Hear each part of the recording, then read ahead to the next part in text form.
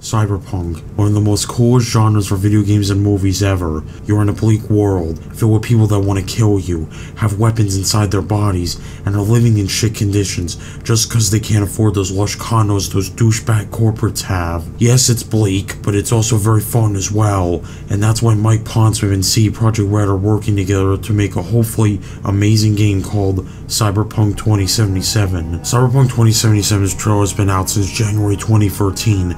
In two months, that's been five years since it was released. But I'm not here to talk about the trailer. I'm here, of course, to talk about why I'm excited for it and my three main points on it exactly. Number one, Mike Pondsmith's involvement. Mike Pondsmith, for those who don't know, created the amazing tabletop game Cyberpunk 2020. You should go check it out, it's actually really cool.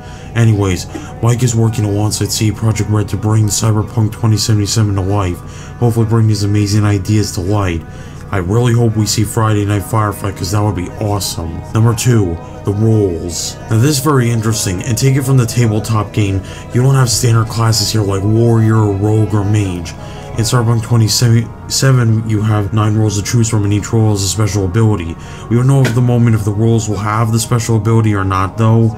So for the names of the roles, you got Solo, Cop, Corporate, Techie, Nomad, Fixer, Rocker Boy, Netrunner, and finally Media.